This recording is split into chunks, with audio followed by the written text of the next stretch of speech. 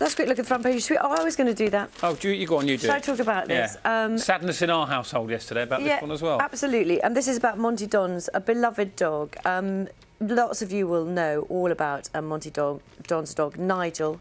And there he is um, as a puppy. Look, gorgeous dog. And he was very much part of the whole programme, wasn't it? Uh, Gardener's World. Um, he's 11 years old. He died yesterday. He enchanted millions of viewers uh, with his antics and to help his owner, Monty Don, as well, um, cope with depression. Um, he was a big star in Gardener's World. Um, I know he had an accident as well, didn't he, at some point? Um, his death was announced yesterday in this emotional online tribute by his owner, uh, Monty Don. He wrote on Twitter, he slipped quietly away with no pain or suffering, is now buried in the garden with lots of tennis balls. Rest now, old friend. See you in the sweet by and by. Um, so uh, yeah, he loved tennis balls as well, didn't he? He was really, you know, really much loved and causing lots of people. Look, you're even quoted in this, Dan. Am I? Yeah. What did I say?